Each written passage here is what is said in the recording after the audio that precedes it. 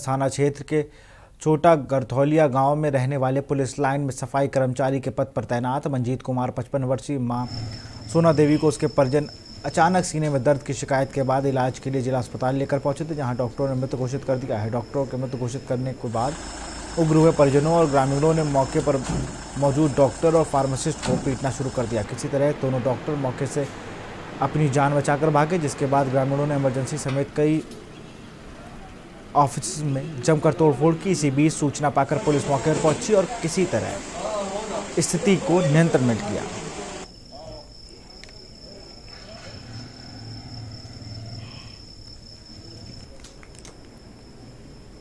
अभी हमें जस्ट सूचना मिली कि मैं यहाँ से डिस्ट्रिक्ट हॉस्पिटल से राउंड लेकर के खुद गया और जैसे मैं घर पहुँचा, तुरंत सूचना मिली कि यहाँ पे कुछ बखेड़ा हुआ है। जब मैं यहाँ पहुँचा तो डॉक्टर ने बताया कि एक मरीज़ जो है मृत अवस्था में आया था और जैसे ही उन्होंने उसे देख करके मृत घोषित किया उनकी परिजन उग्र होकर के अस्पताल में तोड़फोड़ करने लगे और चिकित्सकों के साथ अभद्रता और मारपीट शुरू कर दी। यहाँ वो सब आए हम आएँगे तो हमला कर गए हम्म। महिला लोग मारो शुरू गए हम्म। चप्पल से। हम्म। कुछ आदमी का तोड़ फोड़ रहे हैं हम्म। फोर्स खड़ी रही तो वो अच्छा पुलिस कुछ नहीं की? अरे हटाओ सही। अच्छा। डॉक्टर को मारे हैं सब पर? हाँ। तब यहाँ बवाल हुआ है सब शीशे उसे तोड़े क्या हुआ था? कुछ मरीज़ लेके आए थे हम्म। तो लाने में शायद लेट कर दिया ना क्या? हम्म। उसी में डेथ हो गया। है हम्म।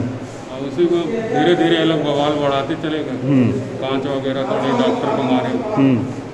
और भी जो है उधर अब रख के बवाल कर रहे हैं। हम्म। डॉक्टर को भी मारा था उन लोगों ने? और डॉक्टर को दो तीन बार मारे। अच्छा। खबर गोंडा से है, जहाँ कोरोना के लक्षण वाले मरीजों के